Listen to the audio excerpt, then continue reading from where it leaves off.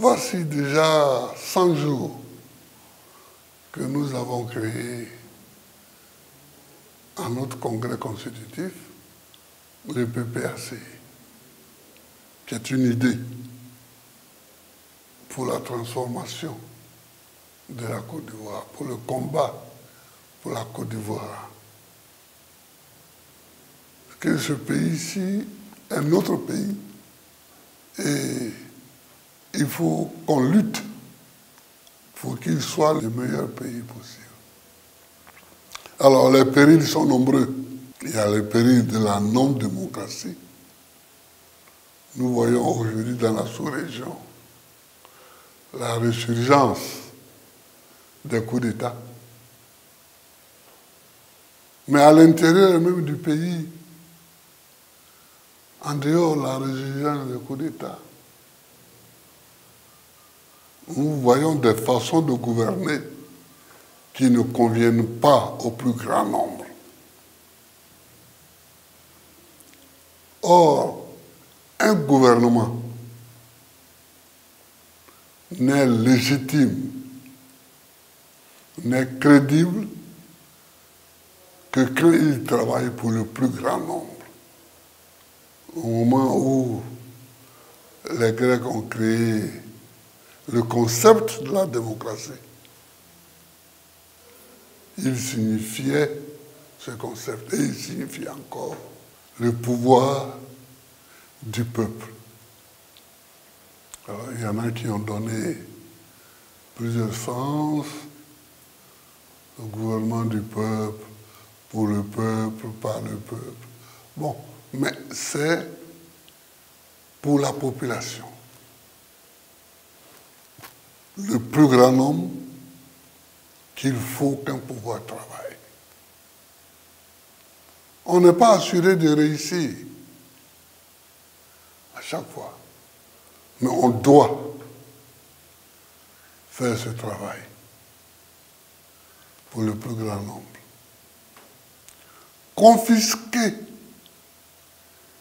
les biens du peuple pour un petit groupe, c'est comme ça que nous nous battons. Confisquer les idées du peuple pour un petit groupe, c'est comme ça que nous nous battons. Nous nous battons pour que le plus grand nombre, ceux qui sont dans les quartiers périphériques, à Yopougon, à Bobo, à Port-Boué, à Koumassi, à Trècheville,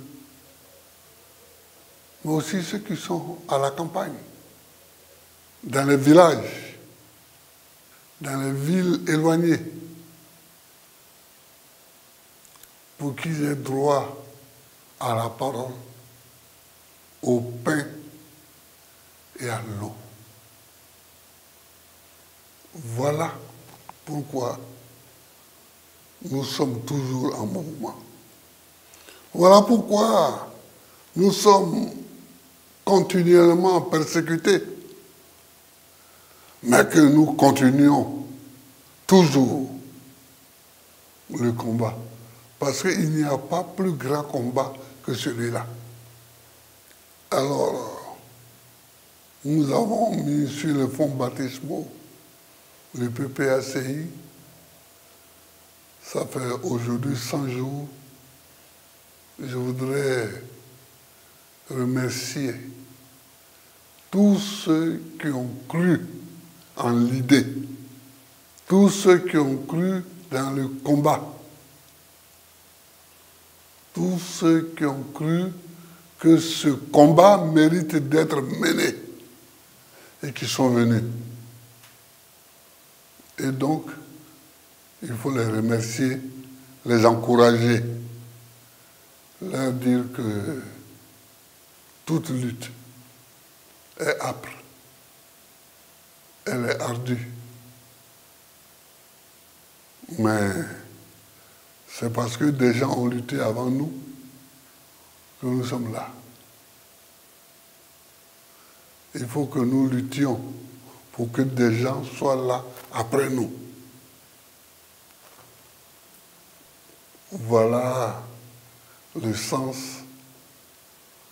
que je voudrais donner à ces 100 jours-là. Me réjouir que déjà, il y a 100 jours que des Ivoiriens rassemblés ont décidé de continuer le combat.